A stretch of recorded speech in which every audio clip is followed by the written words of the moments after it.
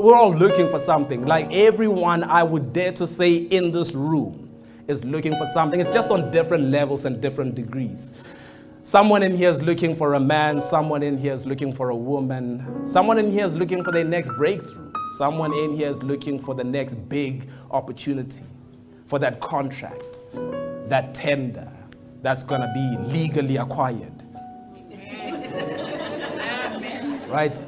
You know, someone, someone in here is looking forward to their first child, uh, marriage, different things. We're all looking for something. And you know what I've realized?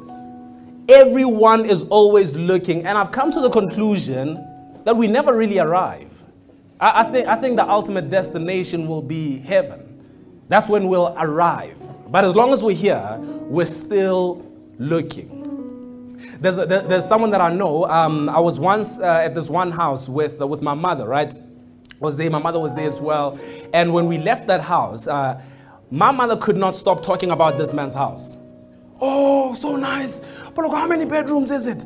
Do you know how much it is? I said, listen, let, let's not get into the numbers. We're all going to be depressed, and it's just not going to be okay for anyone in here. The whole way home, right? Just talking about this man's house. And then sometime later, I hear this man talking about needing more space, needing a bigger house, right?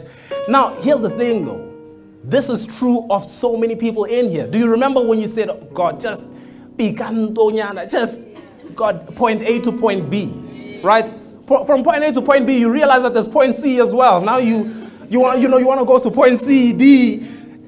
I don't know how to say alphabets without singing them, so I'm gonna stop at D, because I, I, have to sing them to A, B, C, D. Um, but but that's that's that's the point. We're all on our way somewhere.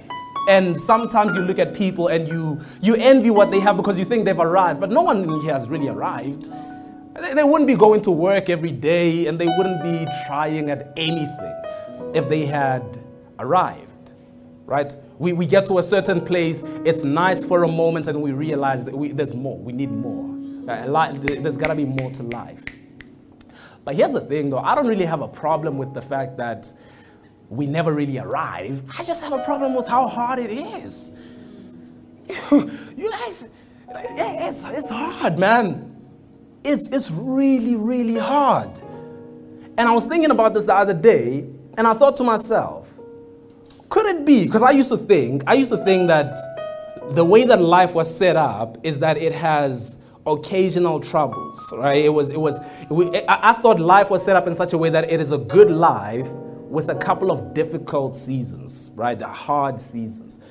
But now I'm starting to think that it's a hard life with a few good seasons in between. Like, you, you understand what I'm saying? I'm starting to think it's, it's like just really, really hard.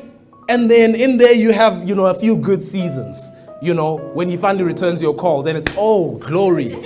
and then after that he goes to you and it's like, it's, we're, we're right back here. This has been life since how I've known it always. And I've really come to that understanding that life is hard. Life is really, really hard. And every day I have people who, uh, who criticize what I do by correcting me with this one powerful, powerful message. Uh, a lot of them often older than myself. Young man, it is easier said than done. Right? It is easier said than done. And sometimes I'm like, sir, how did you know that? How did you know that it was easier said than done? You've come up, you've come across an incredible discovery. No, you didn't. Everyone knows it's easier said than done.